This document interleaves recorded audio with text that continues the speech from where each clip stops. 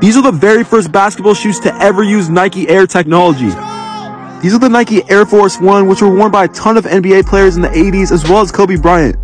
The traction heavily inspired the Air Jordan 1 traction with these pivot points, and these are extremely good, just like the Air Jordan 1. One of the downsides of the sneaker though is how sharp of an angle the outsole is. You can roll your ankle pretty easily in these. For cushion, we have almost full length air, but you can barely feel it because it's encapsulated in rubber. These aren't the best basketball shoes in the world, but they are definitely better than Nike Dunks and Converse, which are terrible. Overall, you can definitely get away with playing in these, but did you know